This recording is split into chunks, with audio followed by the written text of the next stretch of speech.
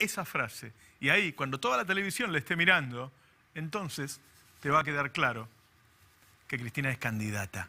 Pero vamos a hablar de otras cosas hoy porque el presidente de la Suprema Corte de Justicia tenía grandes clientes a los que hoy obviamente no podría juzgar porque son sus clientes, siguen siendo los clientes de su estudio y sin embargo lo hace. Entre ellos, hoy te va a contar Horacio Borbisky, el diario la Nación. Y además, con Horacio Borbisky vamos a hablar de la salud de Bonadío. Y además, vamos a hablar y a escuchar con Ari Lijalat los audios que comprometen a Garabano. ¿Cae Garabano? Ahora se lo vamos a preguntar. Y además vamos a ver cuánto queda de reservas. Ahora que se pueden vender reservas libremente, ¿cuántos quedan? ¿Llegan a diciembre? ¿Dejan el Banco Central absolutamente vacío? Y además el verso de las cloacas. Ahora te dicen que antes vivíamos entre la mierda, ¿viste? Te vamos a mostrar cuántas cloacas hizo el kirchnerismo y cuántas cloacas hizo Macri. Además, esa señora que está ahí, Elisa Carrió, ahora que sabemos que la mayoría de las causas contra el kirchnerismo fueron armadas, vamos a ver cuántas causas armó Elisa Carrió. Ahora, en dos minutos, dale.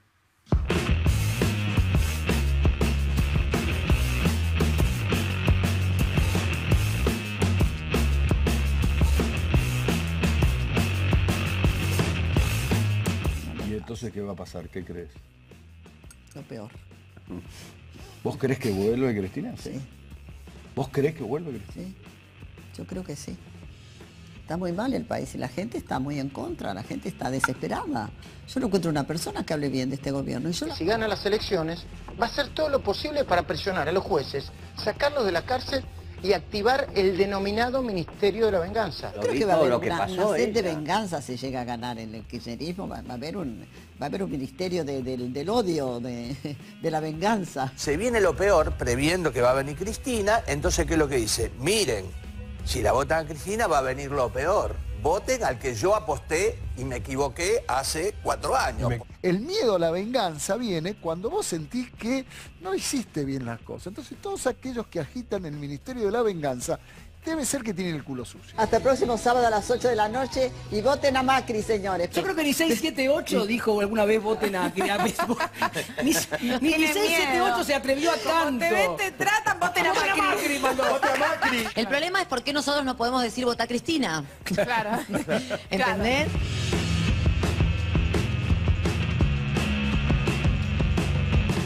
Ustedes no saben lo que es este libro.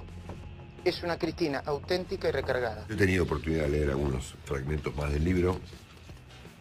Terrible.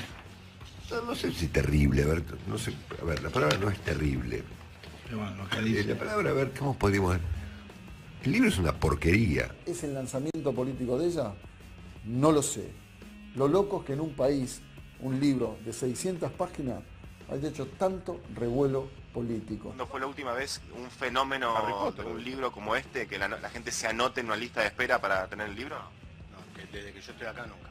El juez Bonadío ha dispuesto el embargo de todo lo que se recaude por parte de la editorial del libro de Cristina Fernández de Kirchner. Cristina no va a cobrar absolutamente ningún ni- ningún peso por el libro, sinceramente, y, y al no haber cobrado ningún solo peso, eh, ningún solo peso puede embargarle.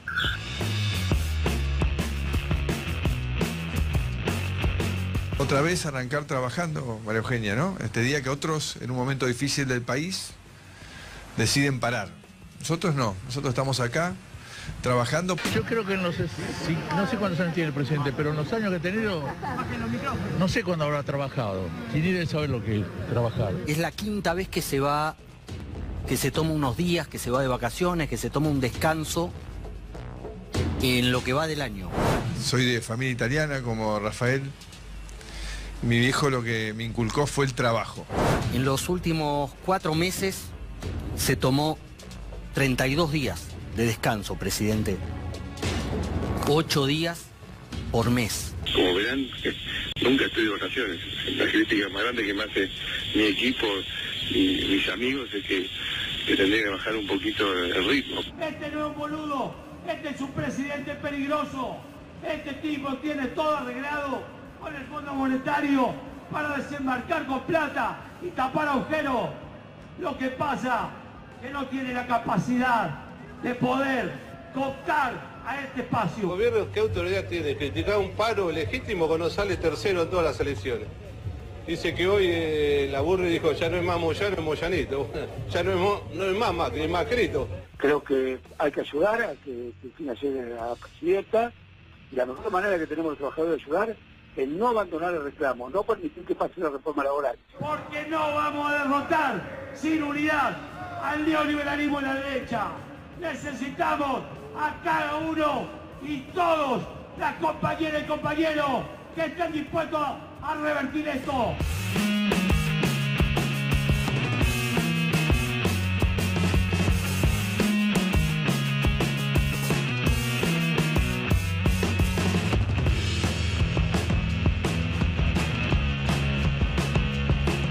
Ha pasado peor? ¿Ahora antes? Porque como decía el señor Moyano, y me ha parecido una frase muy estupenda, la de es fácil hablar con el estómago lleno, pero hay que hablar de todos los argentinos que no tienen nada duda. que llevarse en la boca. Siempre imaginé que este gobierno iba a tener este resultado. ¿Te imaginabas que iba a tener estos resultados, esta política económica? Sí, la verdad que sí. Cuando se vio este gobierno, ¿te, te imaginabas estos resultados? Eh, sí, sí. Sí, el director es malo, el guion es malo, ¿por qué iba a salir bien? No me sorprende, pero no creo que pueda ahora detener la escalada de precios. Tal vez Argen- eh, Cristina hoy tenga un lugar porque ellos hicieron las cosas mal. Eso sin duda. Claro, bueno, entonces si Es como estás con un novio nuevo, estás flasheando, tú, tú después te das cuenta que era un zapato y dices, ¿cómo extraño a Alf- Alfredo? Bueno, Y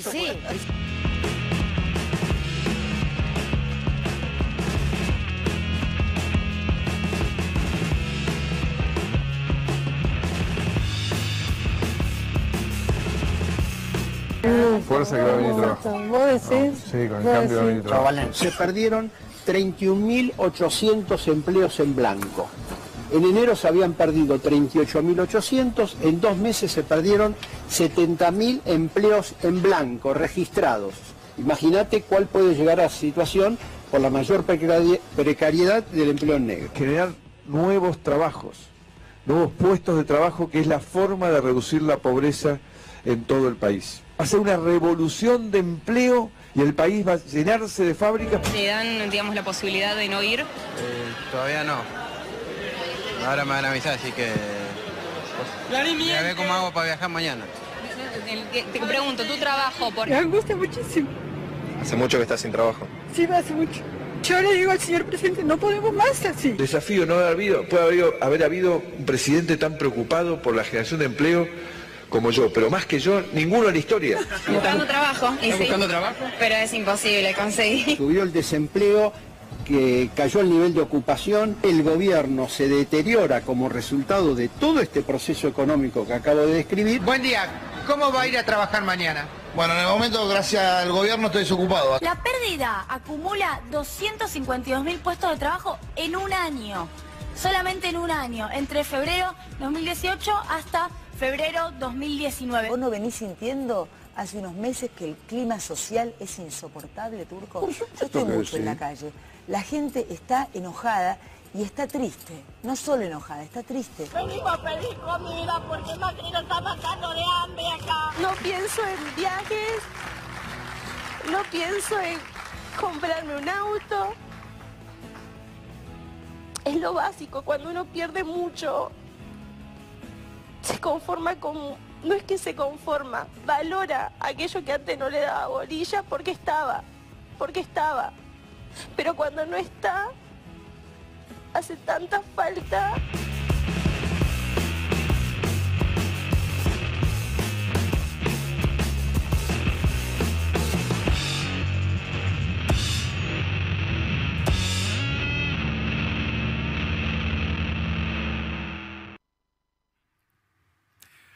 Unos minutos vamos a hablar de Carrió. Sabemos que la persecución fue armada, sabemos que las causas fueron armadas. En las principales causas que se armaron contra el kirchnerismo, y cuando digo en armaron, digo que atrás estuvieron los espías, que atrás estuvo D'Alessio, periodistas. Entre las principales causas armadas estuvo Carrió, en todas. ¿Será procesada por eso? Lo vamos a hablar en un rato.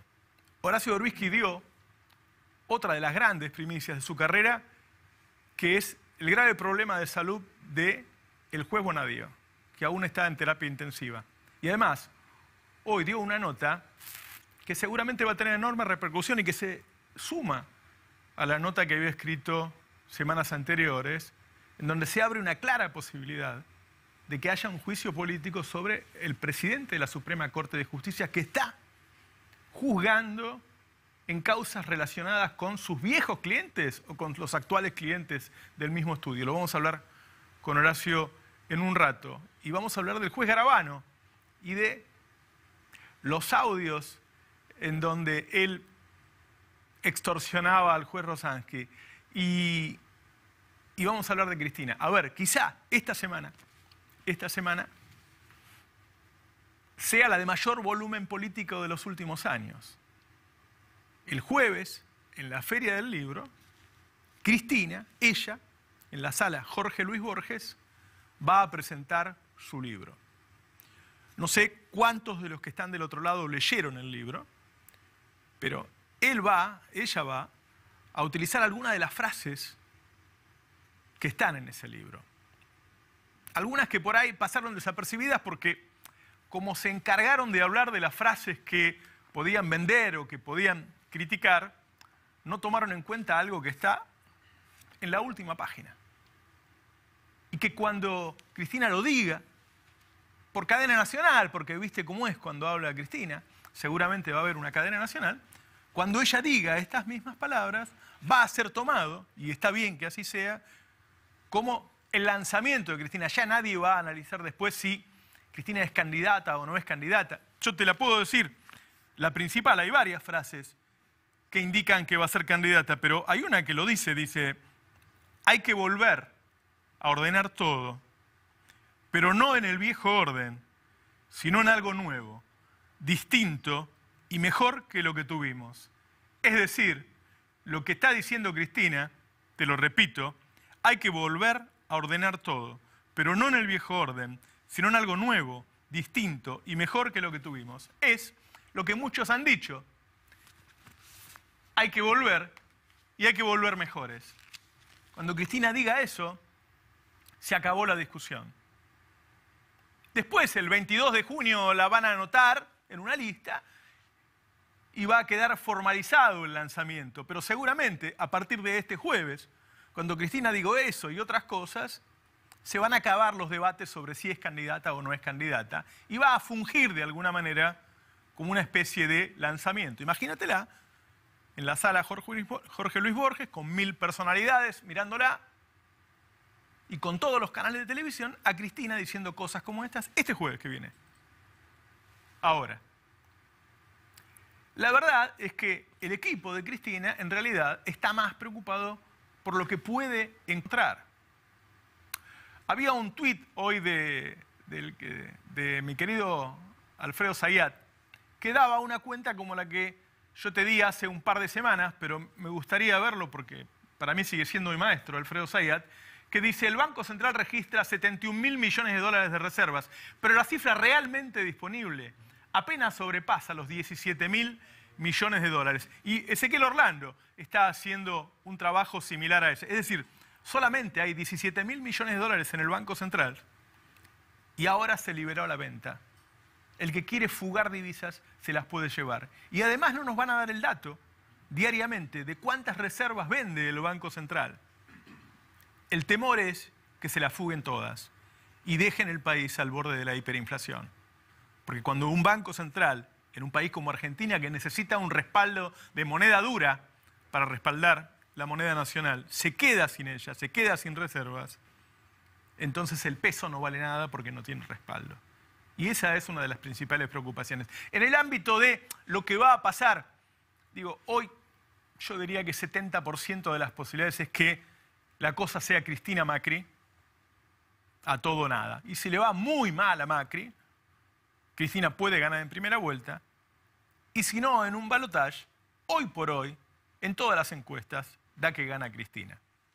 Ahora bien, hay algo que es lo que vio parte de Cambiemos, incluso Durán Barba, y es que siempre Cambiemos jugó a dividir la oposición. Entonces en un momento pensó, bueno, puede ir Cristina, Lavania, Massa, lo dividimos y le ganamos. Lo que dan todos los estudios ahora es que todo ese peronismo en la segunda vuelta en general se une detrás de Cristina. Por lo tanto, cambiemos en estas condiciones, pierden primera o pierden segunda. De ahí las negociaciones que están intentando hacer para que haya una alianza. Hubo una foto hoy en la Feria del Libro en la que está Frigerio con Larreta, Santilli y Lustó. ¿Sí? Y esa propuesta de 10 puntos en realidad es en la búsqueda de coincidencias para terminar cerrando e incluir, ya no se llamaría Cambiemos, se llamaría de otra manera, e incluir al radicalismo y aparte del peronismo. Es decir, Cambiemos está en el precipicio entre que se le va la UCR y pierde todo, o suma más. La condición de la Baña dijo, sí, pero sin Macri. Es decir, la Baña quiere lo que quiere Cornejo, el presidente de la UCR, que es una paso de Vidal, Lustó y Lavagna. A ver, esto parece una locura, porque ¿cómo? Están armando una alianza para pelear contra la oposición, es raro, ¿no? Las alianzas se arman para pelear contra los oficialismos. Sin embargo, uno debería decir que no es irracional una alianza antikirchnerista. Porque si queda toda la derecha de un lado y el kirchnerismo del otro, que no es izquierda, pero ponele que es progresismo o centro izquierda, en realidad, quien surja de ahí va a tener más posibilidad de gobernar. Y me refiero también al kirchnerismo. Dejaría de ser una bolsa de gatos e iría con un núcleo duro que le permitiría gobernar. Digo, es loco desde el lugar de vas a hacer una alianza contra la oposición, pero tiene cierta lógica. Digo, yo no me imagino a Pichito con el kirchnerismo. Y a esta altura, a esta hora estaba este, en el cumpleaños de la mujer de Massa, el expresidente de España, este, no me sale el nombre, Felipe González. Digo, la verdad es que yo me, me hace un poco de ruido esa alianza, ¿no? O sea, Massa con el kirchnerismo. Se lo sigue buscando, se lo sigue buscando. Pero a mí me parece más razonable que termine en esa alianza. Con Lustó y co-cambiemos. Ya nos vamos a enterar. Uno de los caballitos de batalla de la campaña. Claro, ¿qué tiene para mostrar Cambiemos? todos los indicadores dan mal. Hicieron algunas obras. Hicieron algunas obras, muy pocas, mínimas, al lado del kirchnerismo, y entre ellas hicieron algo de cloacas y de agua potable. Entonces ahora dicen que antes vivíamos entre la mierda, digo, la palabra la utilizó el presidente. Es decir, quieren cambiar la historia y decir que son los primeros que hicieron cloacas. Escuchémoslo cuando lo dice María Eugenia Vidal, por ejemplo.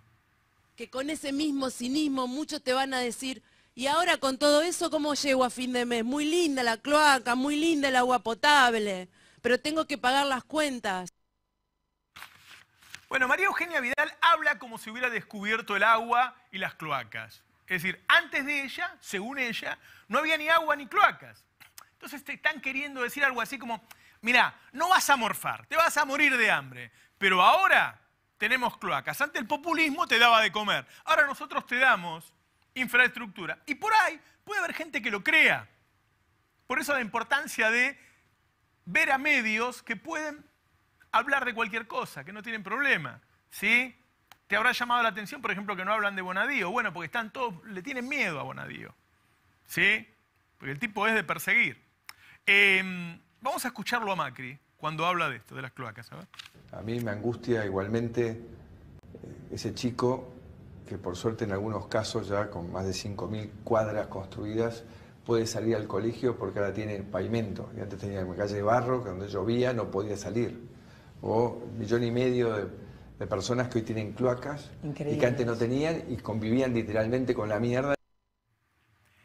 Bueno, eso se lo puede decir Macri a periodistas o que no tienen información o que no les interesa eso. Pero está quedando en la gente, hay encuestas, Durán Barba lo usa, dice, mira, lo que nos queda a nosotros, como todo va mal, es decir, que en realidad la guita la gastamos para eso y que eso antes no se hizo nunca.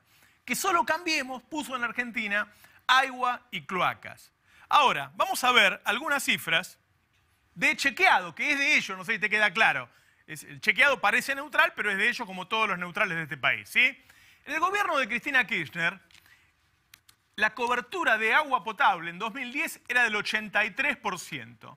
En 2015 había llegado al 87%, crecía a un ritmo de 0,8 puntos por año. En el cambio, el gobierno de Mauricio Macri pasa del 87% en 2015 al 88,6% en 2018, crece a un ritmo del 0,5. Es decir, que lo único que hizo Cambiemos en todos estos años, que fue eso, lo hizo a un ritmo casi la mitad del kirchnerismo. Mucho menos que lo que hizo el kirchnerismo.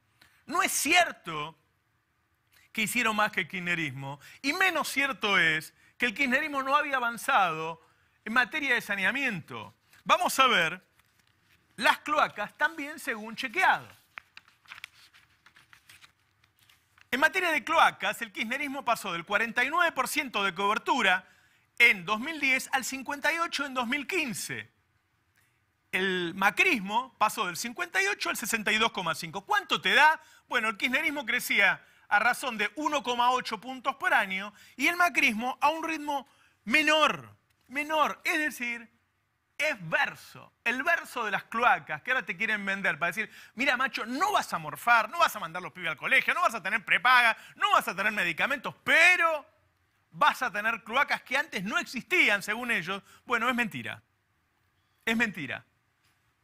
Vamos a ver un informe sobre el avance del agua durante todo el gobierno del kirchnerismo. Mira, en 2003 28.900.000 personas, toma captura de eso, mandáselo a todos los que conozcas, tenían agua potable en Argentina. En 2015, cuando se va el kirchnerismo, casi 38 millones de personas. Es decir, 9 millones de personas más tuvieron agua potable durante el kirchnerismo. La mayor cantidad de nuevos usuarios de agua potable de la historia argentina en poco más de una década.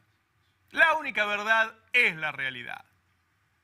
Vamos a ver lo mismo, pero con cloacas. Porque dicen que vivías entre la mierda, dicen ellos, que le llaman eso a tener un pozo. Yo tenía de pibe un pozo donde cada tanto viene el camión y lo saca y qué sé yo, ¿no? Bueno, vamos a ver cuántas cloacas hizo el kirchnerismo. Solamente 16 millones de personas tenían cloacas en 2003.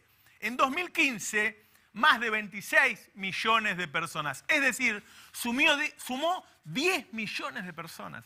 La cantidad de personas, de argentinos, que llegaron a tener cloacas hasta 2015, tuvo un aumento del 60%. ¿Sí? Un 60% más de argentinos tuvieron cloacas al final del gobierno kirchnerista. Es decir, te están mintiendo. Y como me gusta usar datos de ellos, quiero que veas lo que dice la Universidad Católica, la universidad que prácticamente labura para Macri, ¿sí? Esto, el Observatorio de la Deuda Social de la UCA dice sobre el periodo del kirchnerismo, ¿sí? Al final del kirchnerismo escribe esto. Esto lo podés buscar en la UCA, todos los datos los podés buscar. Los más beneficiados fueron los hogares de nivel socioeconómico más bajo, dice la UCA sobre el kirchnerismo, pertenecientes al estrato económico ocupacional de la clase obrera integrada, ubicados en barrios con trazado urbano de nivel socioeconómico bajo vulnerable. Así se refería la UCA en 2015 sobre la obra del kirchnerismo. Y tenemos otra placa más del mismo informe en donde la UCA dice A ver, la ampliación de los servicios domiciliarios de REC experimentó importantes mejoras con un destacado efecto progresivo en los servicios de agua de red y cloacas. Es decir, el verso de las cloacas es para convencerte de que no comas, pero somos los primeros que ponemos cloacas. Bueno, es mentira. Es mentira que son los primeros que ponen cloacas. Por el contrario, el kirchnerismo puso una cantidad inusual, sumó una cantidad inusual absolutamente este, desproporcionada con respecto a lo que se había dicho antes en la historia argentina de usuarios de agua potable y de cloacas. Digo, a ver, hablaba también de pavimento. Hay algo que se llama pobreza multidimensional, que toman los ingresos, pero además se fijan eso. Si el tipo vive en calle de tierra, si tiene agua, si tiene cloacas, ¿sí? Vamos a ver la pobreza multidimensional, ahí está, ¿ves? Servicios básicos, vivienda digna, medio ambiente, acceso educativo, empleo y seguridad social. Vamos a ver entonces ¿Cómo era? En 2015, estos son datos de la UCA también, ¿eh? Universidad Católica Argentina.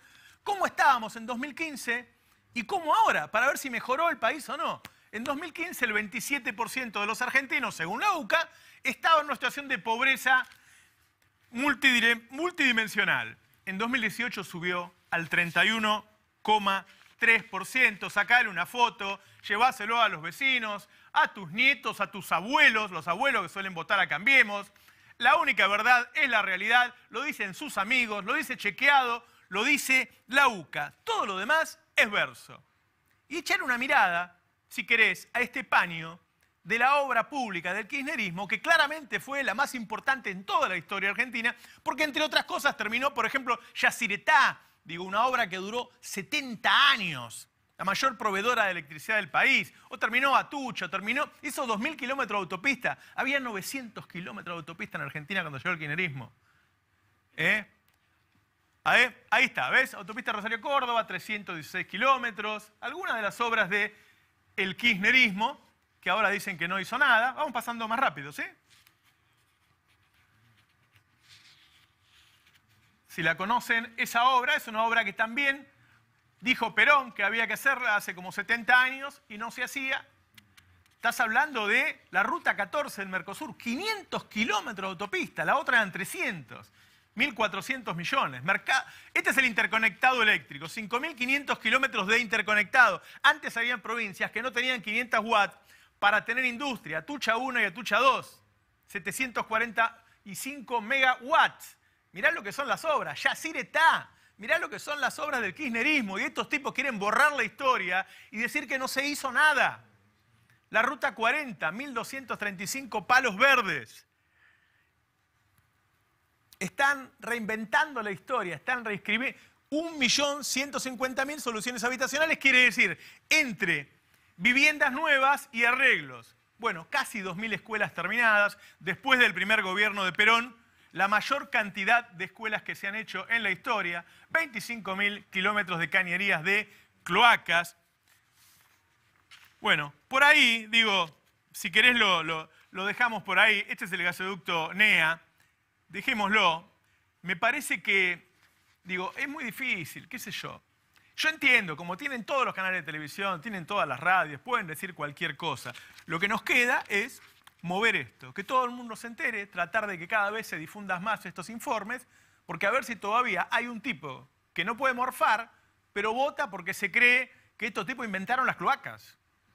Es el verso de las cloacas, por eso pusimos el hashtag y voló desde un principio. Es mentira, es otra mentira más. Pero en 30 segundos Vamos a ir con Horacio Gorbisky, que el otro día dio la primicia de la salud de Bonadío, indudablemente un juez muy importante por la cantidad de causas contra Cristina que tiene, y que hoy tiene algo muy fuerte sobre el presidente de la Suprema Corte, ese hombre que iba a ayudar a Cambiemos y que luego quedó en soledad. Y guarda, porque ya venimos con Carrió, ya venimos con Carrió, porque cuando este gobierno se vaya, seguramente Carrió va a terminar mal.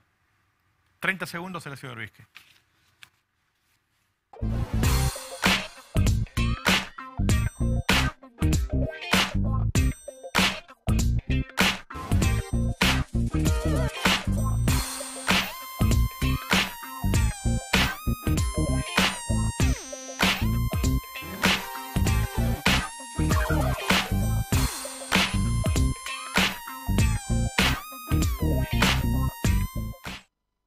Suscríbete a El Destape. Ahora sin tarjeta de crédito. Mandanos un mail a suscripciones@eldestapeweb.com con el asunto alta suscripción y decinos el monto que te gustaría aportar. Sumate a la comunidad del Destape por un periodismo libre. Lleguemos a todos.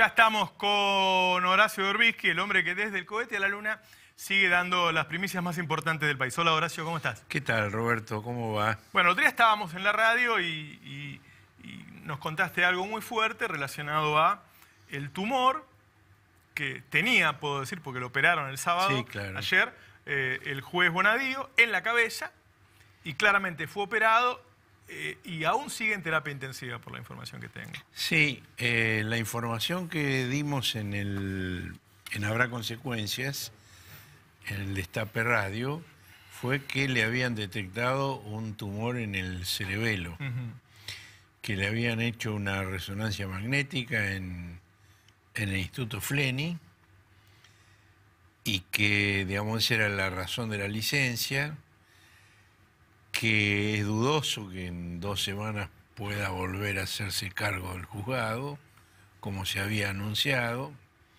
Esto lo dijimos el día viernes y el sábado lo operaron. Así es. Es Sí, decir, sí. la información era sumamente precisa. Salió Majula a decir que en realidad tenía estrés, pero es raro que lo hayan operado de estrés, qué sé yo. Sí. No, se dijo muchas cosas, que tenía un grano detrás de la nariz, de la, de la, de la oreja. Sí, sí. Este, se dijeron muchas cosas. Ahora, Hay que aclarar En- que en Fleni- informar no en significa... No sacan no, no es que nosotros dijimos qué bueno que, que este hombre tenga eso. No, lo, lo para- que hizo Horacio Berbisky fue nada. informarlo, nada más. Eso. No, incluso en la edición de hoy del cohete yo le deseo este, una pronta y completa recuperación. Este, yo nunca tuve ningún problema personal con él. Este, no y no, no le deseo no le deseo nada mal este, en lo personal y de su salud. Digamos, discrepo profundamente con sus métodos investigativos, creo que forma parte de una de un manejo judicial vergonzoso eh, y que a mi juicio tiene una gran, una alta gravedad porque cuando algo que hay que hacer bien se hace mal, después se dificulta la posibilidad de hacerlo bien. Claro. Digo, eh, yo he dicho muchas veces, por escrito, oralmente, y veo, por ejemplo, que lo está diciendo ahora también en forma habitual Graciana Peñafort, que la corrupción en la obra pública es grave y hay que investigarla y hay que sancionarla. Ahora, lo que es inadmisible es que un, eh, en primer lugar, el relato general, la idea de que las grandes empresas constructoras del país que han cartelizado la obra pública desde el gobierno de Onganía y el ministerio de Krieger Bacena, que es el comienzo hace más de 50 años, hayan necesitado que llegara de Santa Cruz un político provinciano, los llamara y les dijera, vengan que les voy a enseñar cómo se hace para cartelizar la obra Claro. pública. Digo, yo tengo publicado libros sobre el tema, donde describo cómo funcionan los clubes de empresas. Hoy le toca ganar a este, mañana le toca ganar a este. El que pierde hoy recibe una compensación porque el que gana le cede una parte de sus beneficios y deciden la rotación. Y eso se ha hecho bajo todos los gobiernos desde el año 66 en adelante. Y lo que hay que corregir es estructuralmente eso, al margen del castigo específico a tal o cual responsable, que tampoco me parece mal. No me parece lo central, pero tampoco me parece mal. Eh, son delitos que si se prueban hay que castigarlos. Ahora, el cuadro general es eso que dije, es un problema serio que de este modo se dificulta su comprensión y su enmienda. Y por otro lado, los métodos de investigación que se están utilizando son métodos mafiosos, son métodos que destruyen el Estado de Derecho y que van a dar tarde o temprano lugar a nulidades, porque está de sobra acreditado el sistema que Stornelli y el doctor Bloch han utilizado de detener a un empresario, indicarle qué es lo que tenía que decir y darle la opción. Decís esto y firmás esto y te vas a tu casa. Eso lo contó Gerardo Ferreira, por ejemplo. Ya, era, ya era muy sabido. Sí, pero sí, sí. Gerardo Ferreira lo contó en primera persona. Te arrepentís y te vas a tu casa con tu familia. Si no, quedás adentro. Y Ferreira, que no se arrepintió y que explicó por qué no tenía que arrepentirse, incluso dijo que su empresa Electroingeniería, de la cual no es el, el principal accionista, digo su empresa porque él es accionista minoritario allí, que Electroingeniería bajó un 40-45% los costos de la obra pública al presentarse a las licitaciones, interfiriendo justamente con el club de contratistas este, tradicional. Y como no aceptó firmar eso, está, Está detenido. Y bueno, hemos visto, digamos, eh, todos los procedimientos de Stornelli a raíz de las investigaciones que está haciendo el Juzgado Federal de Dolores, este, que espero que en los próximos días haya novedades de la Cámara Federal de Mar del Plata, Ajá. donde eh, me parece que se afirma la perspectiva de que confirmen a Ramos Padilla al frente de la causa. El tema ha sido discutido en la Corte Suprema de Justicia. Hay una posición bastante clara en varios ministros de la Corte Suprema en el sentido de que sería eh, muy mal recibido socialmente que la causa se le arrebatara a Ramos Padilla y se enviara al serpentario de Comodoro Pi, donde estaría condenada a la extinción rápidamente. Eh, todo eso lo hemos visto. Lo que es lamentable es que en este momento lo que el Congreso está discutiendo es una ley de financiamiento de los partidos políticos que admite los aportes empresariales. Claro. Una de las vías maestras para terminar con la corrupción en la obra pública es impedir que las empresas puedan aportar a las campañas, como ocurre en Chile, por ejemplo, Ajá.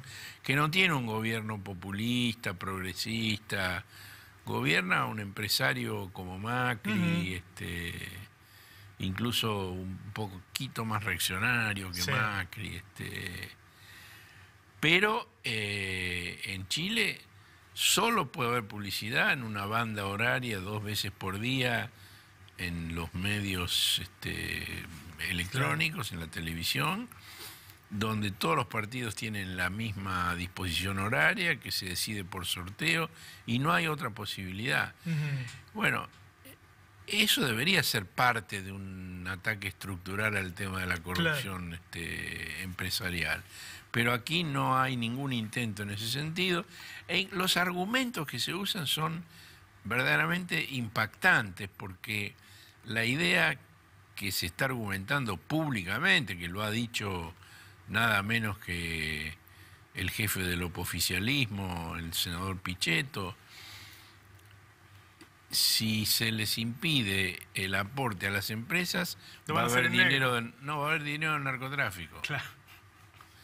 Bueno, claro. Te, cier- te cierro algo que no quiero que pase Sí, desapercibido. Lo que está diciendo Horacio Dorbisky es, es algo, no lo dio por confirmado seguro, pero lo da como una posibilidad cierta, es que la causa quede en manos de Ramos Padilla y que la Corte Suprema tiene la idea de que es lo que corresponde. Digo, guarda que esto hay, hay una Argentina, si se queda la causa ahí, hay otra Argentina si no se queda la causa ahí. Tiene temas muy importantes, entre ellos Carrió. Sí. Entre ellos Carrió. Y te llevo ahora al, al presidente de la Suprema Corte de Justicia, donde vos ya habías dicho, ojo porque está actuando en causas de ex clientes o clientes del estudio, no sé Así en qué condición estará, y ahora está sumando otra muy importante.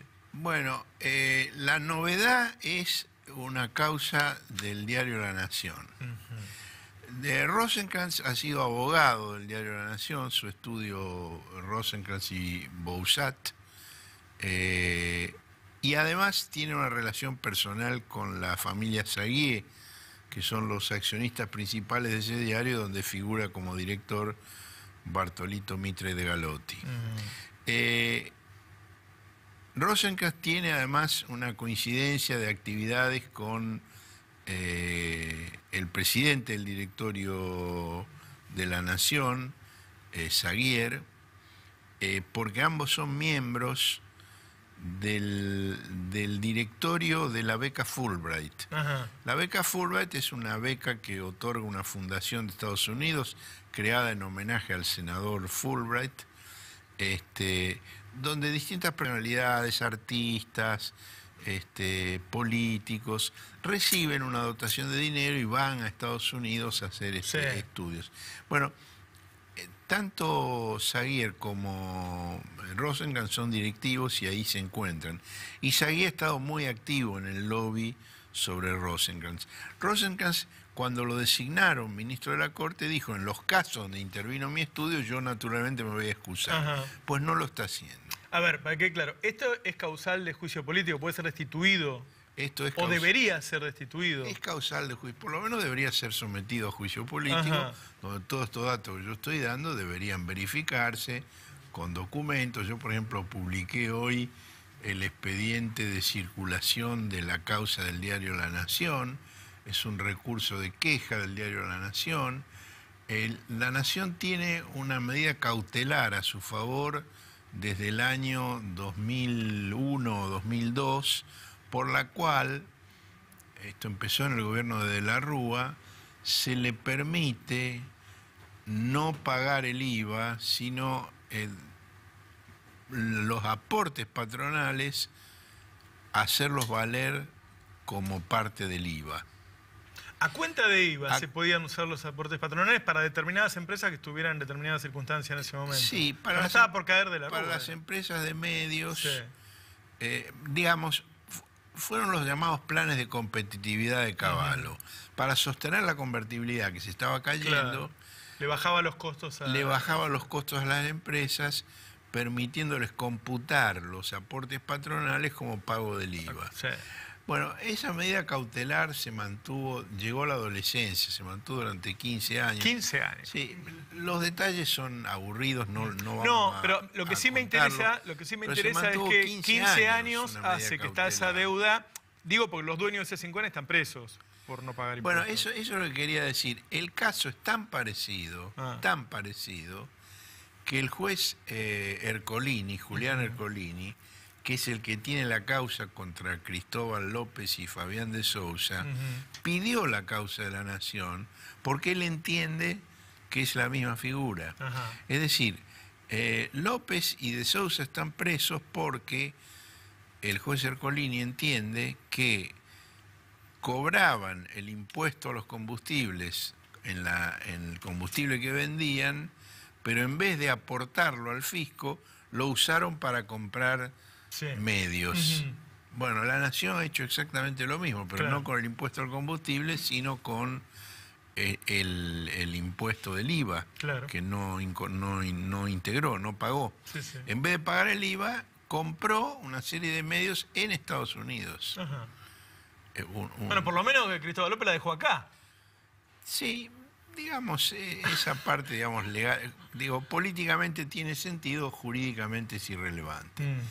Eh, y Ercolini pidió la causa para verla, ¿Y? justamente. No, no sé después qué es lo que hizo, este, pero el hecho es que Sagui está de palique con Rosenkrantz en la beca Fulbright, este, y se encuentran en, las, en los actos de la Fundación Cimientos. Y Rosenkrantz actuó en este caso. Y en cambio López y De Sousa están presos. Y Rosenkrantz actuó en este caso que tuvo un trámite absolutamente excepcional en la Corte Suprema. El 10 de diciembre presentó el recurso de queja Ezequiel Casañe, abogado de la Nación.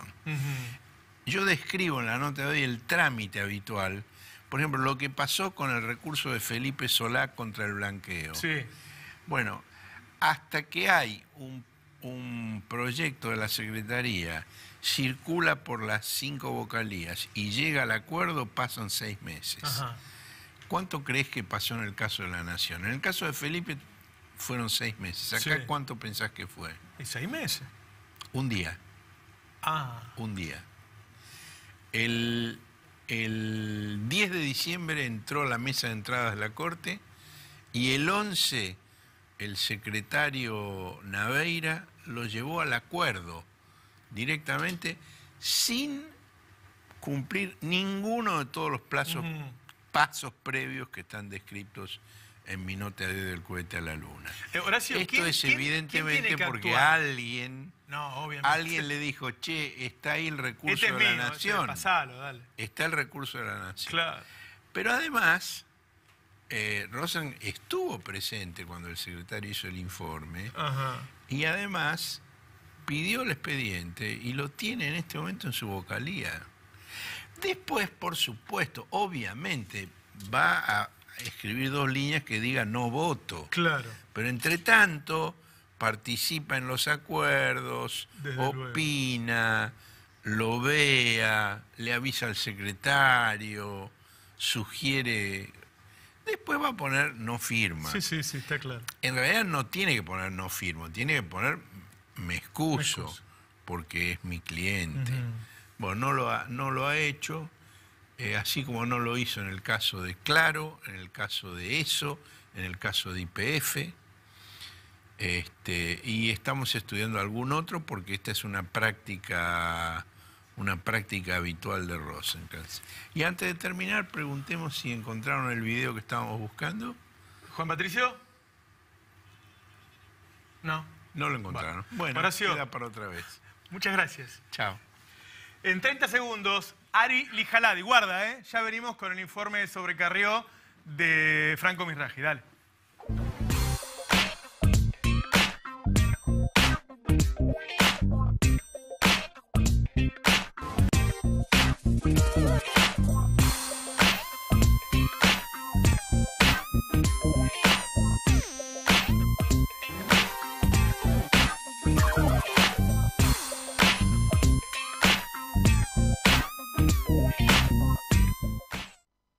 Suscríbete a El Destape.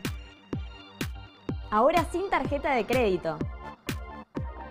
Mandanos un mail a suscripciones@eldestapeweb.com con el asunto alta suscripción y decinos el monto que te gustaría aportar. Sumate a la comunidad del Destape por un periodismo libre. Lleguemos a todos. Los robots de Navarro hoy, con el verso de las cloacas. Es muy importante que se difunda esto. Yo em, siempre les digo, nosotros les mandamos el link del programa a toda la gente que está que ha pedido que, que se lo enviemos y reenvíeselo a la gente, reenvíeselo, que mucha gente pueda tener esta información. Se lo mandás ahora y que algún amigo tuyo, que otra persona también tenga ese link, que lo puede ver desde ahora, del momento este en vivo, o lo puede ver todo, y que, y que todo el mundo se entere de las cosas que estamos mostrando acá en YouTube, en un estudio que nosotros alquilamos para mo- poder mostrar estas cosas en las condiciones en que podemos hacerlo. Pero acá podemos dar todas las pruebas y podemos hablar de todo. Ya estamos con Ari Lijalad, que habla de un hombre que en principio uno, yo pensé que iba a renunciar, pero bueno, parece que no. Eh, Garabano. No, de hecho salió a defenderse el fin de semana, a decir que es lo que van a ustedes escuchar este ahora y voy a hablar poco porque lo importante es que lo escuchen al ministro de Justicia Germán Garabano en una reunión. Les voy a dar los personajes y les voy a dar el contexto. Los personajes que van a escuchar son el ministro de Justicia Germán Garabano, Luis María Cabral, que es un juez muy importante en la rosca judicial y sobre todo en el momento en que lo van a escuchar, que es 2016, que él manejaba fuerte lo que sucedía en el Consejo de la Magistratura, que es el órgano que, entre otras cosas, designa y remueve a los jueces. Ajá. Y acá lo que vamos a escuchar es cómo están armando la remoción de un juez, pero no a través del Consejo de la Magistratura, sino utilizando el Consejo de la Magistratura como organismo de presión para que un juez, que es al tercero que van a escuchar, que es a Carlos Rosansky, renuncie rápido y no a través del proceso de juicio político o lo que le quisieran hacer. Para cargarse eh, a un juez. Rosansky. O sea, es Garabano a cargar- cargándose a un juez y tenemos el audio de eso. Exactamente. Y de- se los pongo en contexto. Esto es octubre del 2016, puntualmente el 19 de octubre del 2016. Después de esto, el 20, efectivamente Rosansky presentó la renuncia. Pero ¿por qué se da esta reunión? Recordemos que, y esto lo denunció la ex abogada de Fariña, hubo una reunión en abril del 2016 entre Fariña y Garabano. Sí. Mismo personaje. ¿Por qué es importante la situación de Rosansky? Porque Rosansky fue uno de los tres jueces que detuvo a Fariña, le dictó una prisión preventiva, le prorrogó esa prisión preventiva durante seis meses por una causa de evasión, y mientras Rosansky estaba de licencia, metieron a otro juez, que se llama Micheli, que es el suegro además de Hugo Alconada Mon, eh, que además le pasaba la información rápido para que publicaran y tuitearan rápido sobre lo que pasaba ahí. Y a partir de esa situación en la cual Rosanqui estaba de licencia, a pedido de Garabano, lograron la escarcelación de Fariña para que después hiciera todo lo que después conocemos a través de los guiones, etcétera, que Es decir, que sin esto que vamos a mostrar ahora no se podrían haber armado todas las causas que hay armado con Fariña. Exactamente. Y una de las cosas Necesitaban que le- a Fariña y para eso tenían que correr a Rosansky. Y Exactamente. ahí se mete, es la primera vez que se mete Garabano. Recordemos que lo tenemos a Garabano en una reunión directamente con Fariña más adelante. Garabano pide que lo escarcelen a Fariña en un momento que Rosanqui estaba de licencia. Rosanqui vuelve de licencia, se queja de esa situación que sucedió durante su licencia, se da la reunión de Fariña con Garabano y Fariña le dice, estoy preocupado por Rosanqui. Y Claro. sí, porque el hombre se va, va a decir, che, la escarcelación esa estuvo toda eh, mal hecha. Vamos Digo, direct- contextualicemos primero, eh, eh, a ver, esta gente llegó al gobierno armándole causas al kirchnerismo. Se mantuvo en el gobierno armándole causas al kirchnerismo. Es decir, si hay gente aún que vota a Cambiemos, es porque piensa que en el kirchnerismo son todos ladrones. Si no Cambiemos hubiera perdido ya en 2017 o hubiera caído ahora. ¿Sí?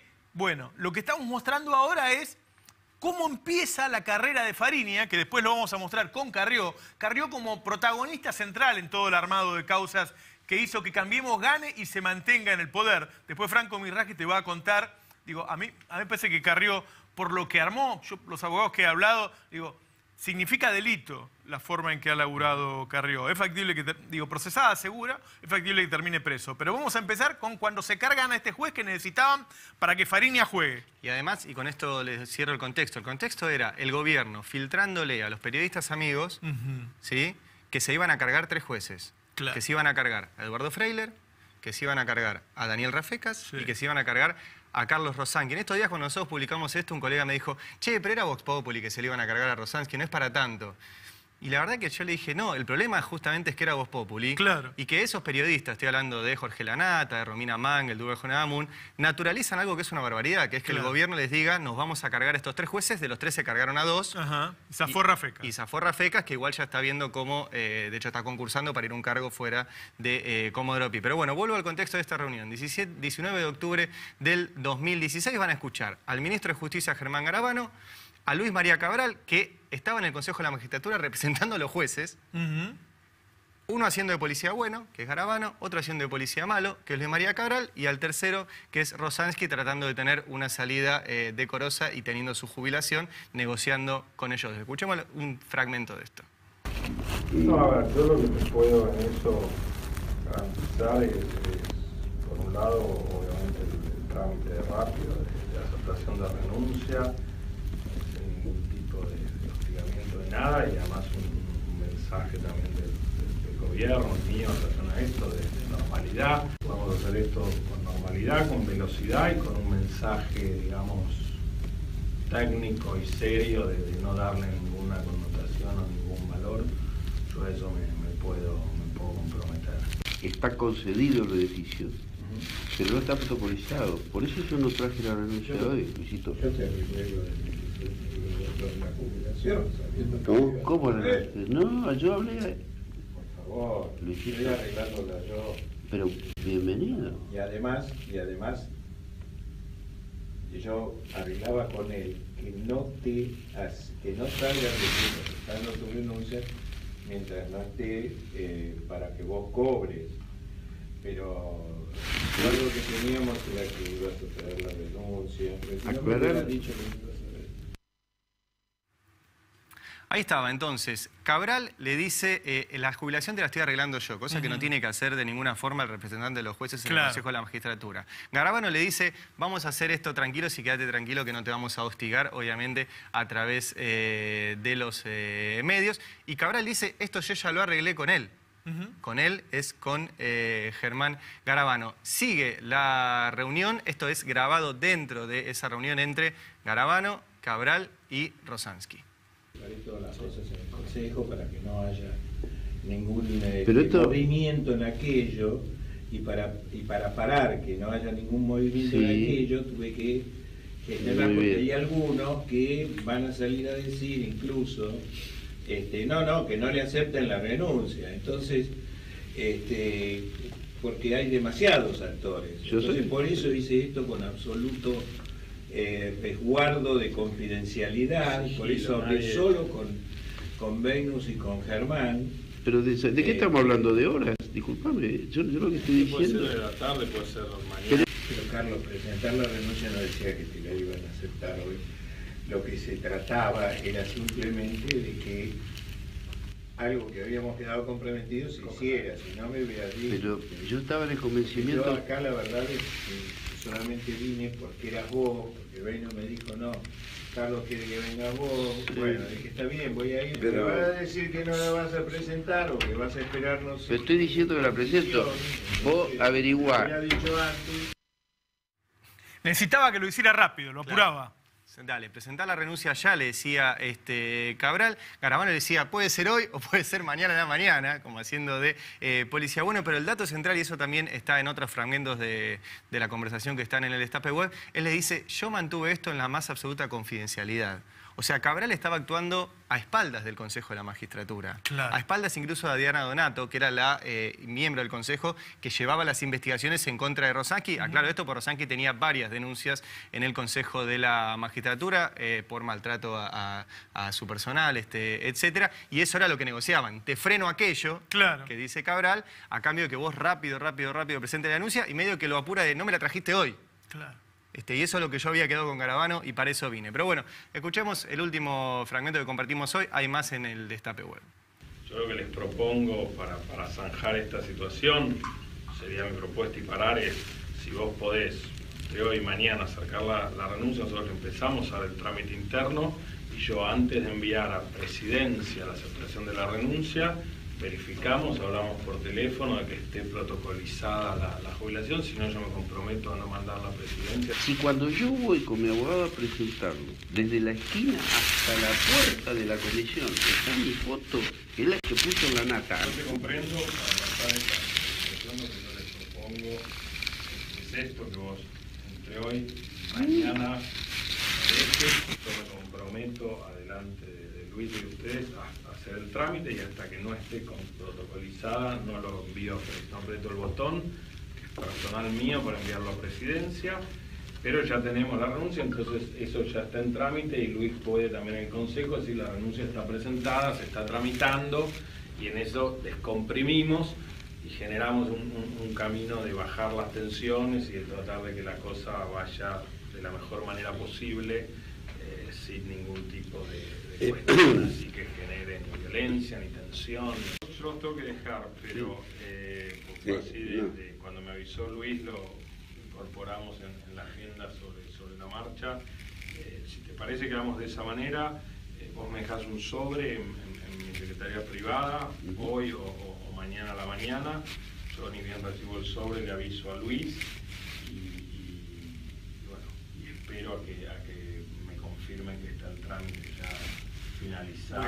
Y ahí, hasta ahí mantenemos la reserva. Ujú. ¿No? Digo. La reserva hasta que Sí, sí. se podría Sí, sí. que salga el decreto. Para que no, viste que no, no haya interposición de, de- Bueno, y hasta ahí mantenemos la reserva. O sea que al final de la reunión eh, lo que hace el ministro Garabano es confirmar que estaban haciendo toda una situación este, irregular, que lo estaban haciendo a espaldas del Consejo de la Magistratura y obviamente extorsionando al juez eh, Rosansky para que presente hoy o mañana, le dice, la Claro. jubilación. De hecho, sucedió al otro día. Eh, renunció a cambio de que tenga su jubilación y zafe de las eh, denuncias en su contra que se estaban investigando en el Consejo de la Magistratura. Todo esto lo denunció Rosansky, acompañó este audio y una denuncia en papeles en el juzgado de Alejo Ramos Padilla, sí, porque todo esto surge de que él se entera Sí, sí. a partir de lo que cuenta la ex abogada de Fariña. Ari, nosotros ya lo habíamos publicado en la semana, incluso Ari lo había hecho en alta data, pero nosotros queremos que, se decide- que renuncie el ministro. Por eso lo pusimos de nuevo y lo contextualizamos bien para que se entienda la gravedad. Acá empezó todo lo que vamos a hablar después de Carrió con Franco Mirraji, pero ahora vamos con el profe Romero. Gracias, Ari. A vos.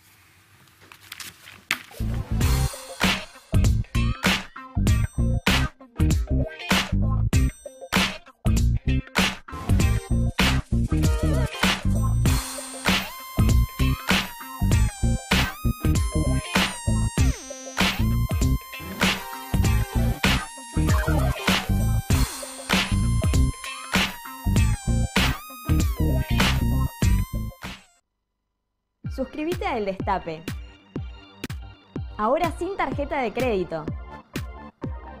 Mandanos un mail a suscripciones@eldestapeweb.com con el asunto alta suscripción y decinos el monto que te gustaría aportar. Sumate a la comunidad del Destape por un periodismo libre.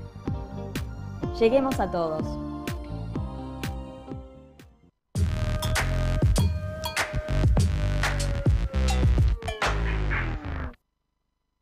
Ya estamos con el profe Romero y detrás de la noticia. ¿Cómo Ni estamos? un paso atrás. Jamás. Ni un, un paso atrás. Vos sabés que vi la última, el último trabajo, la última encuesta de, de una consultora llamada D'Alessio, Irol y Beneste. Es una consultora eh, que más consulta al gobierno. Sí, en realidad sí. podría ser D'Alessio, Irol, Bernstein, Ampro, ponele. Sí. Es muy cercana. Y, y me impactó mucho la cifra de, de cuando habla, cuando consulta las preocupaciones de la gente. Eh, aparece en primer lugar y, y muy ar- arriba del resto el tema de la preocupación por la inflación. ¿eh? Alcanza el 93% de la población la preocupación por el tema de la inflación. Claro, ¿no? cada vez más te cuesta más. Sí, sí. Eh, cuando uno va de compras, se, se te escapa cada vez el producto más para arriba y no te alcanza el salario. Una de las principales preocupaciones. Eh, si te parece, te invito a ver qué decía Macri sobre el tema de la inflación en febrero de este año. Ajá. Dale. A ver. Mira. Dice, ya está bajando y lentamente va a mejorar la actividad económica. ¿eh? Lo decía el día 13 de febrero, lo, lo consignaron varios medios de comunicación. Vos decís 13 de febrero, está bajando la inflación. Digo, ¿cuánto habrá sido en enero? No sé si te acordás, pero vamos a ver, otra placa donde vamos a ver cuál era la inflación de enero. ¿eh? 2,9. Sí. Entonces, en enero bajando, fue el febrero, 2,9. Dos y Eh, medio. ¿Bajó a dos y medio? A ver, A ver. inflación de febrero, siguiente fla- placa. Eh, y vemos cuánto fue la inflación de febrero. Ah. Fue 3,8, la más alta desde octubre. ¿eh? No bajó. Mientras, no bajó. Él lo había dicho en Bueno, esos puede días. fallar, ¿no? En esos días lo había dicho tanto el presidente de la Nación, Mauricio Macri, como el ministro de Economía, Nicolás Dujovne de Lagarde.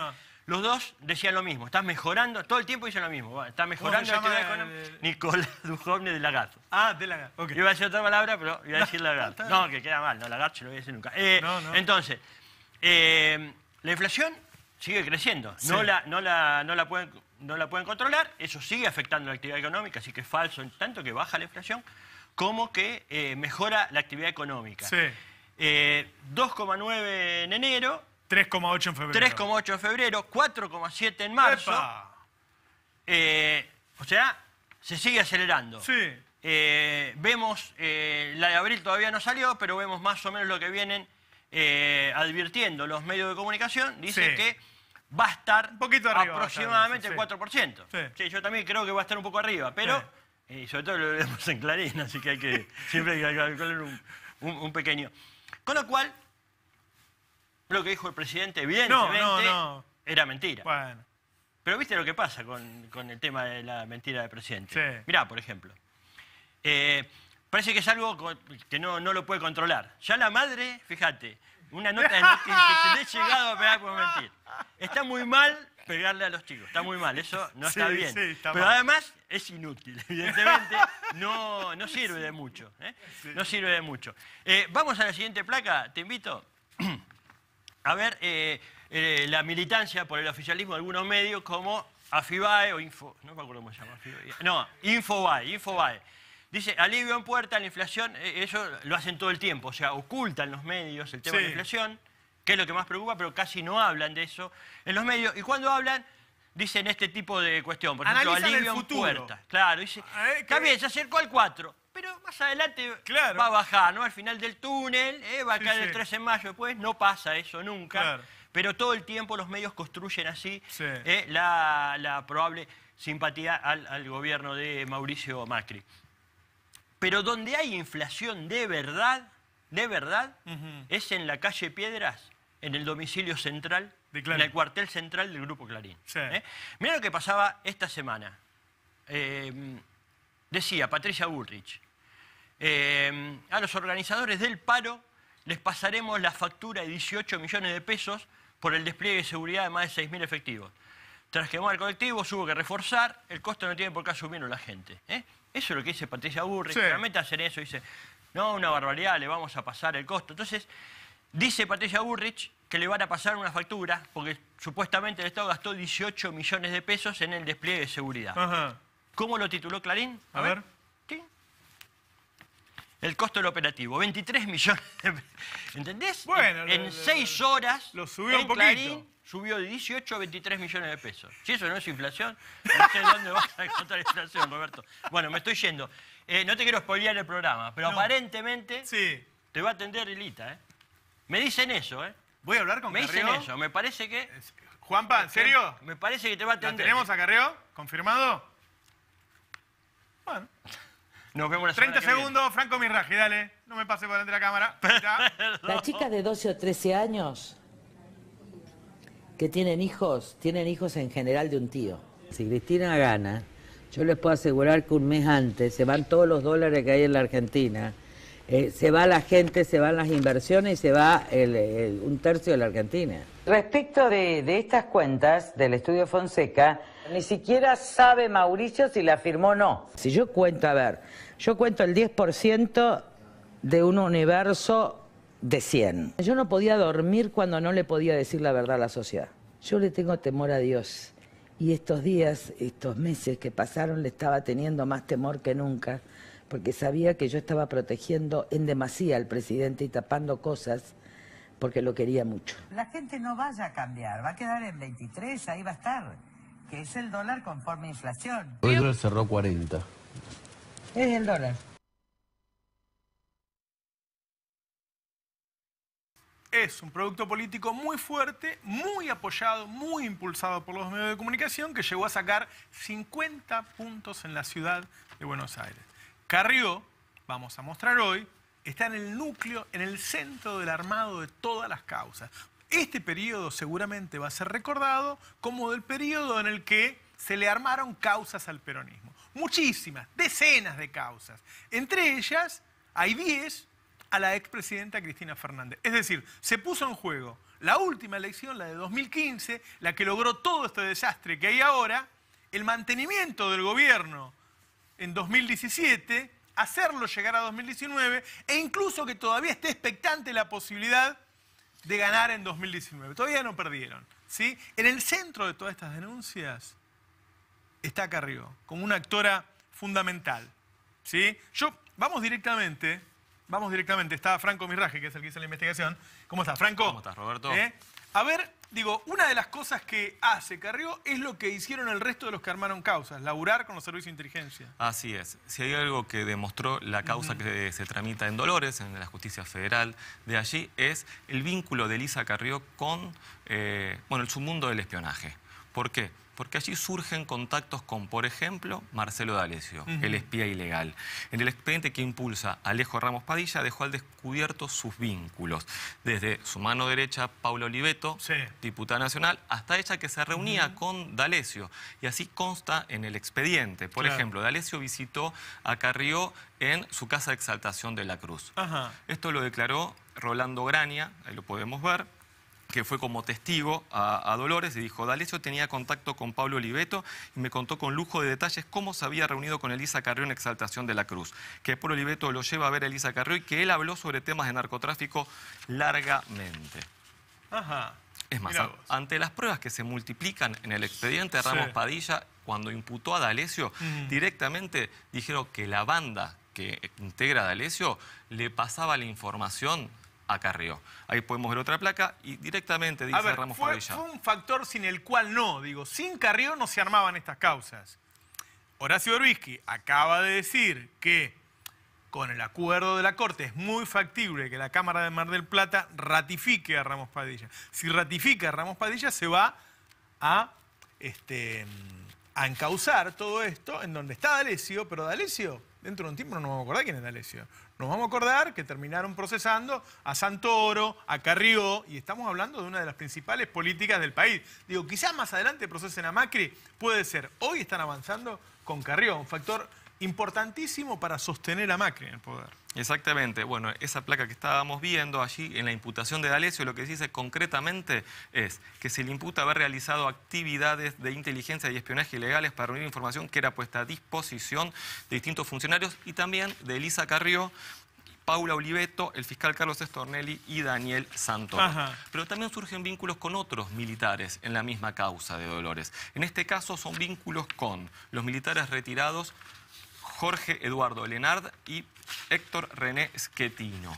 ¿Quiénes son estos dos militares? Bueno, según se pudo sacar de los celulares de D'Alessio, se Ajá. trata de dos militares vinculados a la inteligencia del ejército. En un chat entre eh, D'Alessio y Bogoliuk, que es un comisario que integraba la banda de D'Alessio, Sí. se puede leer lo siguiente. Le pregunta a D'Alessio a Bogoliuk, ¿me puedes averiguar de quién es este auto? Estaba haciendo de guardia en la puerta de mi casa. Eso le consulta a Bogoliuk. En realidad ese es un mensaje que le pasa un periodista que tenía ese auto en la puerta. Ajá. Y le responde Bogoliuk, Jorge Vives y un tal Schettino, o algo así. Uno alto y uno bajo, los dos de inteligencia del ejército. Están como asesores del director de aduanas, vienen ambos de la mano de Carrió. Bueno, Es decir, a ver, Carrió no es que de casualidad fue D'Alessio a la casa, no, no. Carrió labura con los servicios de inteligencia.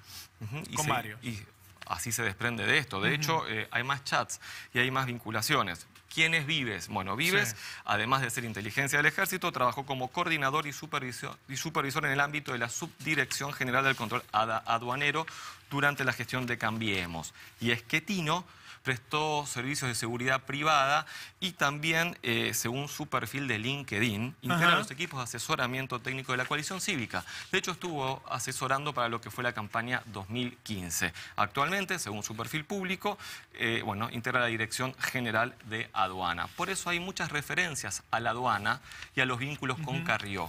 Estos servicios de inteligencia era lo que ella necesitaba para armar las causas en donde terminó imputando y procesando a los kirchneristas. Por ejemplo, vamos a hablar ahora de eh, eh, cómo, cómo juega esto Claro. eh, de la aduana. Hay otra placa donde podemos leer que Romina, que es un contacto que tiene D'Alessio de la aduana, le dice a Marcelo D'Alessio, quiero presentarte al asesor en narcotráfico del director de la aduana. Es un hombre mayor que fue ex jefe de inteligencia de ejército que es un amor. Dale, vos sabés que la aduana quiere tener contacto con la DEI y vos podés comentarle sobre tus trabajos, nos reinteresa.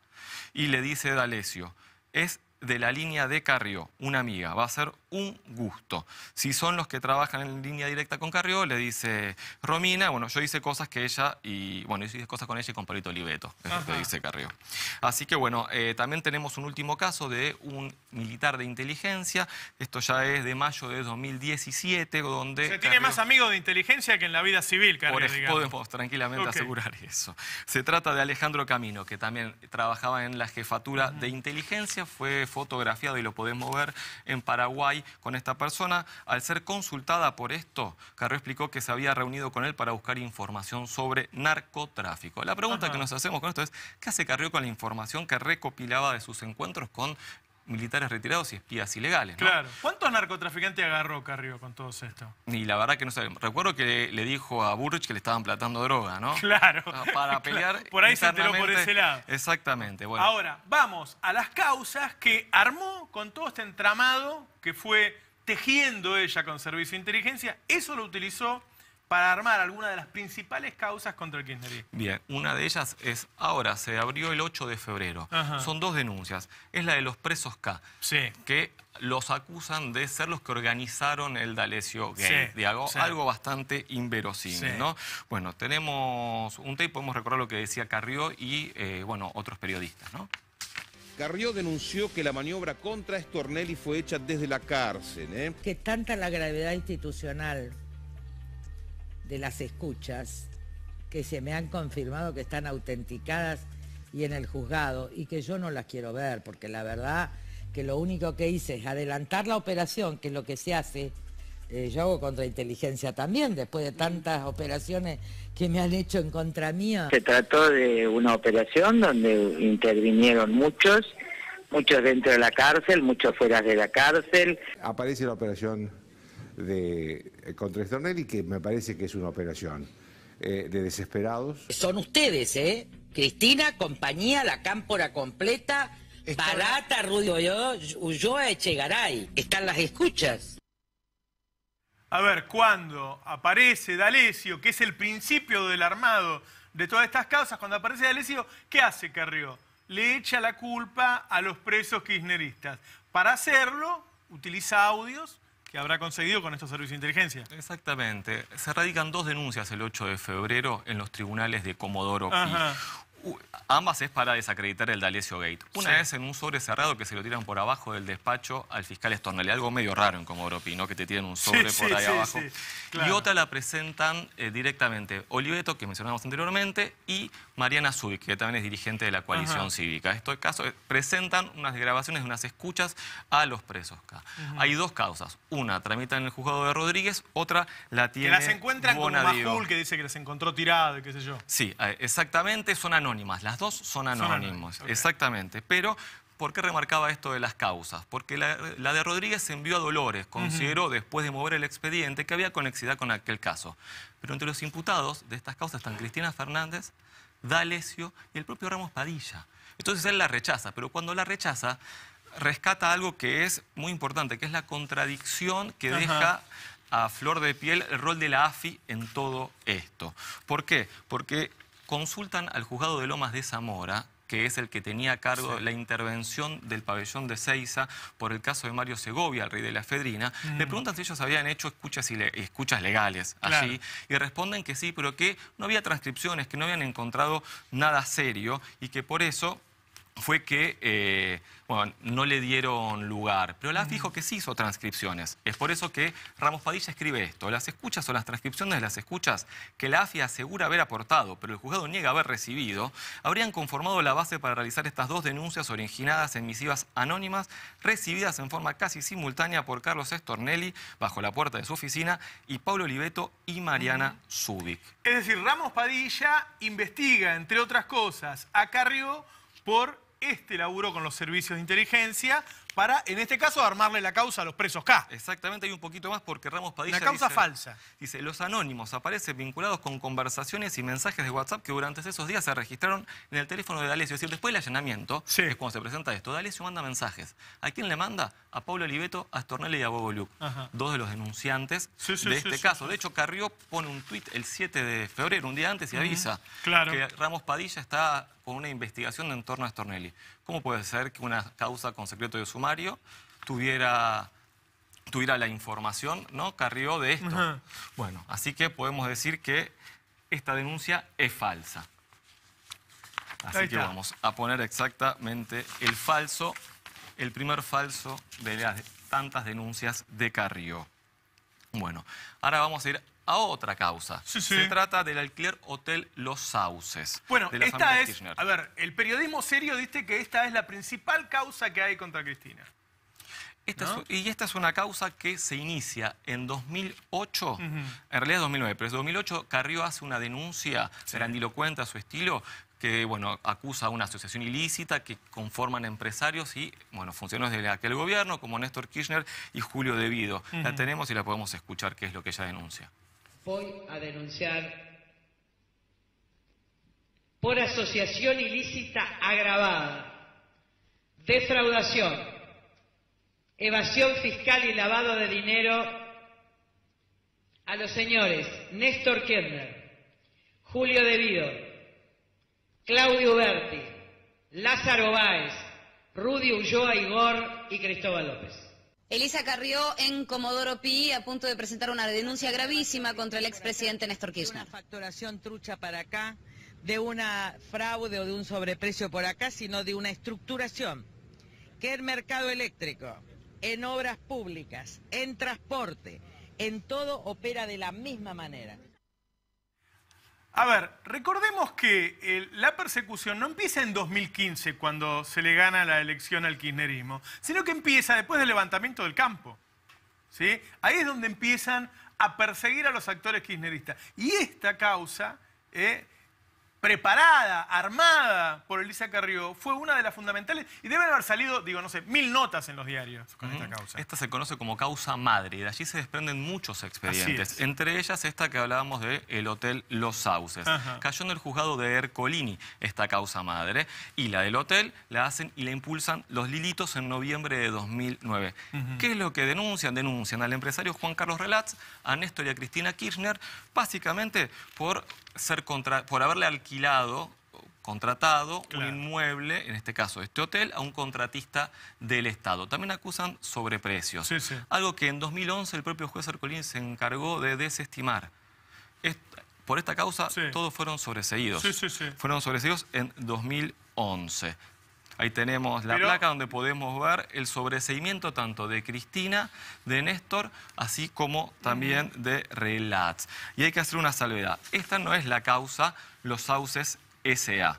Este, este alquiler de este hotel, en términos económicos, era muchísimo más oneroso que cualquiera de los que se investigan en las causas OTESUR y los Sauces S.A Ajá. que son otros expedientes que ahora se elevaron a juicio. Y lo hizo el propio Ercolini, pero lo hizo en 2016 cuando cambió el gobierno. Habrá sido quizás porque la pareja de Ercolini trabajaba en el Ministerio de, Justicia de Garabán o porque esté hoy vinculado al Ministerio Público Fiscal de Casal, no lo sabemos. Lo o sea cierto que, es que esta fue quizás la causa armada por Carrió contra los Kirchner, una de las primeras, o la primera, en 2008. y en 2008 fue esta mega denuncia. Claro. Digo, de ahí se desprendieron Que un sabemos montón- que es falsa. falsa. Acá está, Carrió, que se disfraza de loco por si fuera, si hiciera falta que se disfrazara, ¿no? este, ahí está, Bien. falsa. Y ahora vamos a otro caso, que este también fue muy importante, que es el triple crimen de General Rodríguez, Sí. donde también se ve la mano de Carrió. Aquí, según relató quien fuera el fiscal del caso, Juan Ignacio Vidone, en Dolores, donde está imputado, él dijo que Dalicio estuvo operando en esta causa. Y estuvo operando para involucrar a Aníbal Fernández. ¿Y por qué? Por pedido de Carrió. Y tenemos su declaración, que fue lo que dijo en Dolores. Textual. D'Alessio me mencionó haber tenido con la doctora Carrió y bueno, de una reunión y entre los temas que él tenía para hablar, según me dijo, era el triple crimen de General Rodríguez.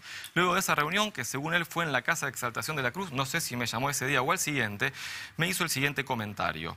De quien había hablado de algunos familiares de D'Alessio que Carrió conocía y que de los temas que él había llevado fue el del triple crimen de General Rodríguez, que estaba enojada conmigo y que me quería hacer mierda por no haber in- vinculado a Aníbal Fernández en esa causa y que ella quería vincularlo a toda costa. Esto dijo el fiscal de aquel caso en la justicia de Dolores. Recordemos que este caso tuvo un peso muy grande en las elecciones de 2015. Claro, por eso, a ver, alguna de estas causas o en parte vos la podés haber visto y otras no lo sabías. Ahora, si pasa una vez, si vos la ves que armó cinco causas, indudablemente está en el núcleo de todo lo que se ha hecho contra la oposición en estos años, es un factor fundamental y es muy factible que la justicia termine avanzando contra Carrió, porque no fue un actor de reparto en todo esto, fue protagonista. Recordemos que se lo denuncia a Aníbal Fernández a partir del programa de Jorge Lanata, Claro. Periodismo para Todos. Allí, Una nota que directamente la hacen en la casa de ella, Eso ¿no? te iba a decir, en el departamento de ella fue cuando el ex policía eh, José Salerno fue y declaró ante las cámaras que la morsa era Aníbal Fernández. Y fue, esto fue en la casa de Carrió. Después, ante la justicia, Salerno dijo, se desdijo concretamente, Claro, dijo sí, que sí, no sí. era tan así. Sí, sí, sí, sí, esta, sí. ca- esta causa, esta denuncia en realidad, terminó siendo, eh, bueno, no, no llegó a ningún lado, una más de las tantas. Y podemos, bueno, podemos... Otro falso, sí, otro, falso. ¿Tenemos carteles para todos los falsos? Sí, ¿no? Y tenemos, acá no sé si se puso el bigote de Hitler o... Está.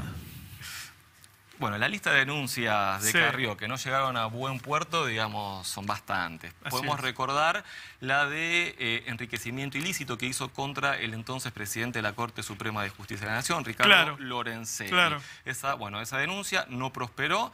Primero el juez Ramos y luego la Cámara la dieron, le- digamos, cortaron su camino. O sea, ella arma, hace que gente mienta, inventa pruebas, qué sé yo. En algún momento, obviamente, la causa se cae, pero antes cumplió su cometido político. Exactamente. Eso vino haciendo Carrió a lo largo de los años. Vos pensás que recién mostramos una de 2008, yo no sabía que era de 2008, estamos en 2019. Hace 11 años que está haciendo eso. Y ahora te voy a cerrar con una de 2002 que tuvo por protagonista Horacio, Horacio Berbitsky. Ajá. Que entonces eh, la diputada denunció eh, ante Estornelli. O sea que me falta uno, el de Lorenzetti. El de Lorenzetti. Bien, Ahí lo íbamos a hacer juntos. Lorenzetti también esta. Que en 2002 la diputada denunció ante En esta Stornelli- yo no sé si no estaba marqueada. Mira cómo está ahí. En 2002 la diputada denunció ante Stornelli que había sociedades compartidas por Ajá. Carlos Menem, Cavallo, David Murford, bueno, distintos personajes, ¿no? Y hablaba de guaridas Espera fiscales. que hay una llamada, hay una llamada. ¿Está? ¿Hola? ¿Cómo les va? Ahora la República. ¡Carrió! Muy buenas noches, ¿cómo le va, Navarra? Ah, la, no, la escucho muy viva, qué suerte. Mire, la verdad que eh, quiero decirle que todo lo que yo he denunciado es cierto, ¿ok? Me siguen al señor Mirraji y decirle que es un mentiroso. Un mentiroso. Ah, bueno. Ah, bueno, pero están los documentos, doctora. Discúlpeme, eh, otra cosita. Sí. ¿Farmacia? ¿Hola, farmacia? Hola, sí, sí, ¿qué, ¿qué necesita? ¿Qué tal? Necesito un blister de clonazepam, venta de plan, 90 ribotril, 5 Viagra, 3 manados, dos paquetes de cigarrillos y una resma de hoja. Escúcheme, después le hace mal todo eso. Ay, y por favor, tres pizzas grandes de mozzarella. Mire, vamos a empezar a ver, a ver, A vamos ver. a hacer la lista para las elecciones ahora en este momento. Ajá. ¿Eh? Ya se le va la voz, ya, no tome más, no tome más pastilla. Bueno, a Brandoni lo ponemos de vicegobernador. A Campanella en la capital, está bueno. Y Juan Acosta, jefe de gabinete por Marcos Peña. No. Guanchope Ávila de candidato en Córdoba, me gusta. Me gusta mucho más que Negri. Largue las pastillas, Carreo. Negri tiene cagadera, Navarro. Denle pastillas de carbón. Bueno. O pónganle un pañal. Avisen a Baldassi. Maten a Durán Barba. Tienen mi aval. No, ¿cómo lo va a matar? ¿Eh? No. Deje de tomar pastillas, Carrió, no puede ni hablar.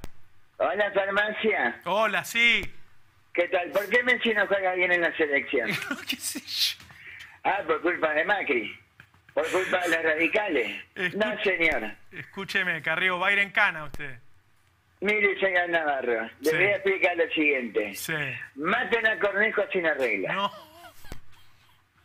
Mátenlo en la plaza pública. No puede, mi aval. no puede mandar a matar gente, Carrió. Mire, la verdad es que estaba pensando que Negri con la cagadera que tiene debería bajar.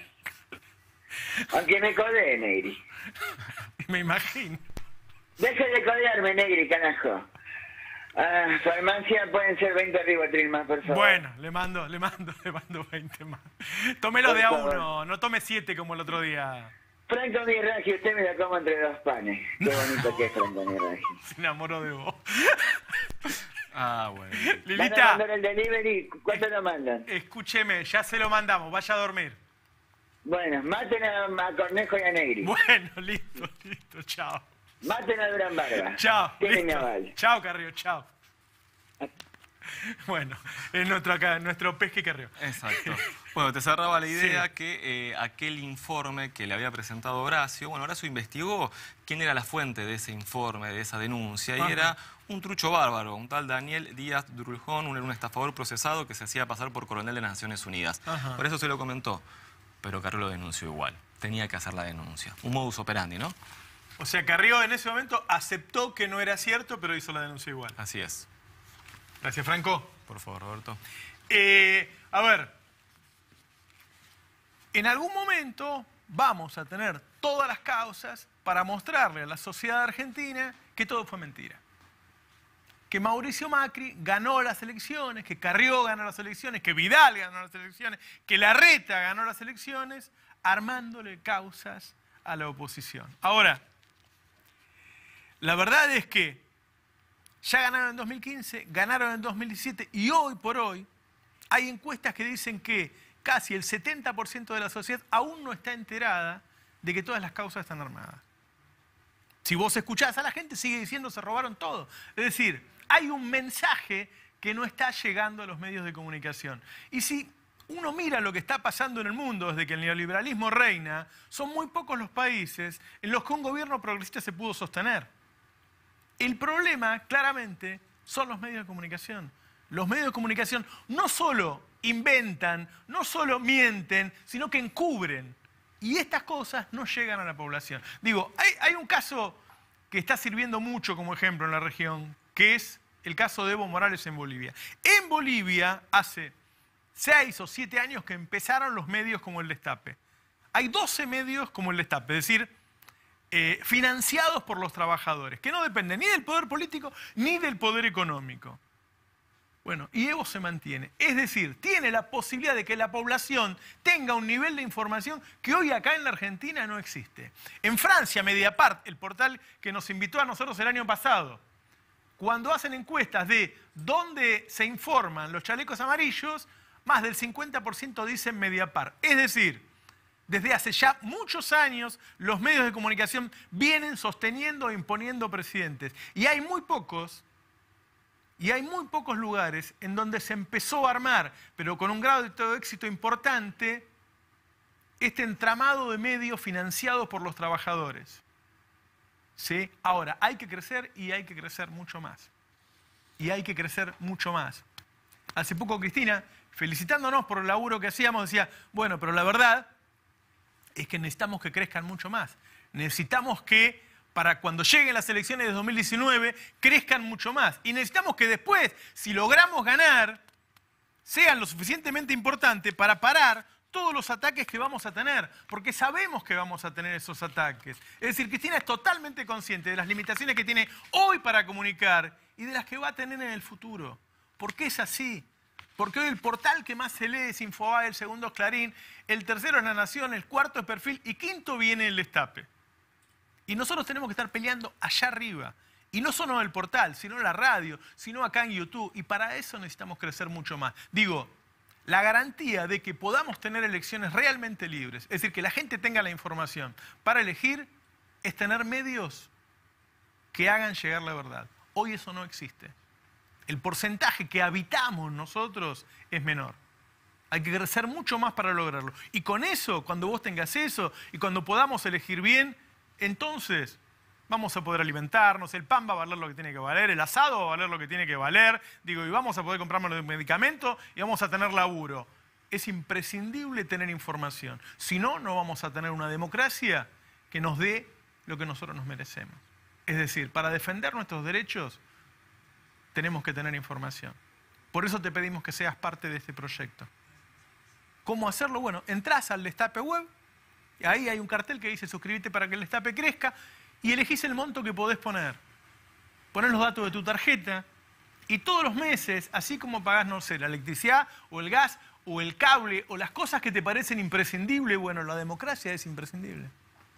Un gobierno justo que te permita tener laburo, que te permita que te alcance el sueldo, es imprescindible. Digo, tenemos que acostumbrarnos a que nosotros tenemos que generar nuestros propios medios de comunicación para asegurarnos que la democracia sea en serio.